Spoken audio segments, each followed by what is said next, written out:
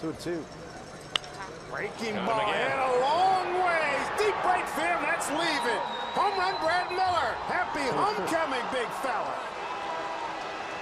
Two home runs in his first three at bats as a big leaguer here in Florida. How about that? Mariners with a 4-2 lead. You can hear the Miller fans in the building. Well, you mentioned it's an off-speed pitch down and in, and he hits all of it.